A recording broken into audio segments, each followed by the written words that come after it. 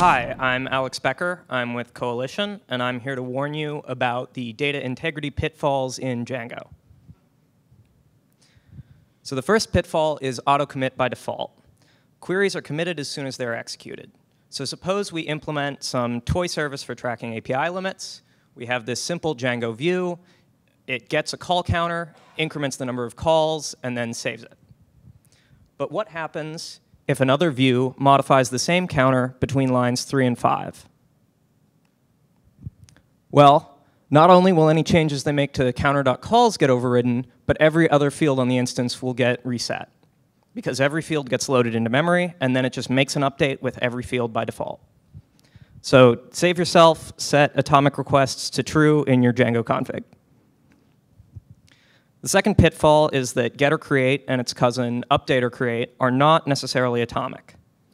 So suppose we create call, uh, call counters on demand. We have basically the same function here, uh, except I've replaced get with get or create so that if a uh, call counter is not found, it will create it. Uh, what happens if two requests are made to increment calls at the same time, assuming we even have atomic requests on?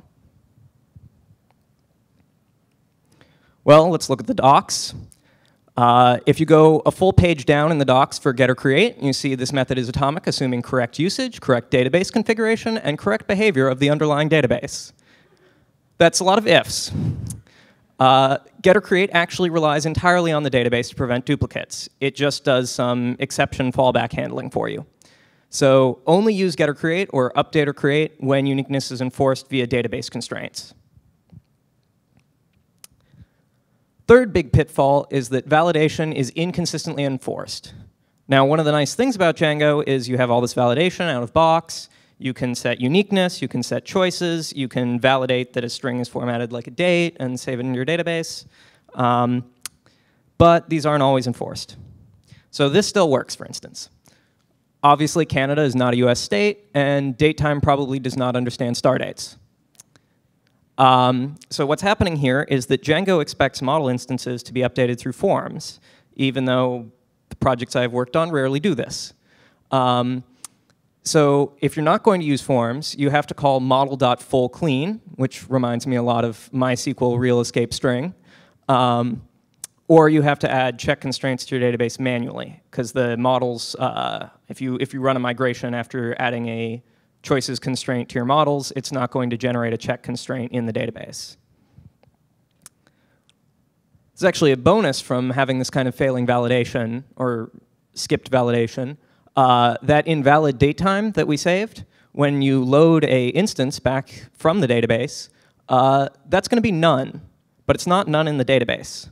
So you get uh, real puzzles like this. Uh, this was actually at the root of, uh, of a bug that took me like several days to track down because the first line, when you're querying is null, that's run on the database, and the database doesn't think created at is null. But then when you load it, uh, Django treats it exactly like it were null. All right, that's all I have. Um, this is adapted from a longer rant that's on my blog. I am, I am actually available in person for in-person rants right now. Um, and also, uh, I work at Coalition. We're hiring. If you're looking for a job with Python and cybersecurity, come talk to me. Awesome.